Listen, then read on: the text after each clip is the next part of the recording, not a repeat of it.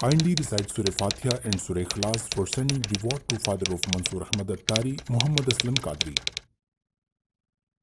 خواب بھول جاتا ہوں ایسا کیوں ہوتا ہے اصل میں خوابوں کا بھولنا یہ کوئی تشویش کی بات نہیں ہوتی اس میں کوئی برائی بھی نہیں ہے لوگ جی۔ عموماً یہ سمجھتے ہیں کہ خواب کا بھول جانا کہ پتہ نہیں کیا میرے ساتھ کوئی پرابلم ہے جس کی وجہ سے میں بھول جاتا ہوں۔ تو پیارے بھائی ایسا نہیں ہوتا۔ ہر ایک شخص کی اپنی الگ کیفیت ہوتی ہے۔ کئی لوگ ہیں جنہیں خواب ہی نہیں آتے۔ کئی وہ ہیں کہ جو روزانہ خواب دیکھتے ہیں اور کئی کے خواب دیکھتے ہیں۔ اسی طرح یاد رہنے یا نہ رہنے کے اعتبار سے بھی لوگوں کے حالات مختلف ہوتے ہیں۔ بعضوں کو تو سالوں تک اپنے خواب یاد رہتے ہیں اور بالکل واضح ہوتے ہیں اور اور بعض اوقات خواب یاد نہیں رہتے۔ تو اس میں کوئی تشویش کی بات نہیں ہے نہ ہی ہمیں کوئی پریشانی میں مبتلا ہونا چاہیے کہ نہ جانے پتہ نہیں کیا وجہ ہے کہ خواب مجھے یاد نہیں رہتا۔ جی۔ تو کوئی بات نہیں اگر یاد رہ جائے تو بھی حرج نہیں ہے بھول جاتے ہیں تو بھی حرج نہیں ہے۔ تو یہ ایک نارمل سی چیز ہے اس میں نہ کوئی اچھائی ہے اور نہ ہی برائی ہے۔ کوئی فضیلت یا پریشانی کی کوئی بات نہیں۔ صحیح۔ صلو علی الحبیب صلی اللہ تعالی علی محمد صلی اللہ تعالی علیہ وآلہ وسلم۔